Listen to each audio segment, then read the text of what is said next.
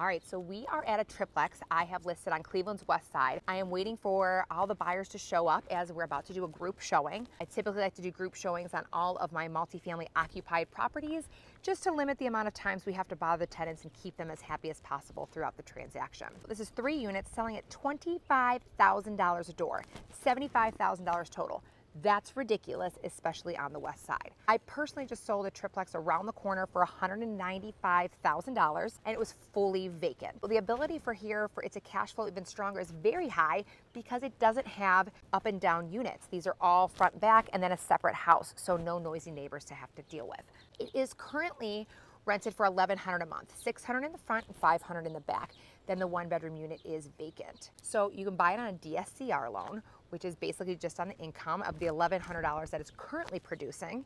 You'll put about 20% down and it'll cash flow really great. We're looking at about 2,400 a month minimum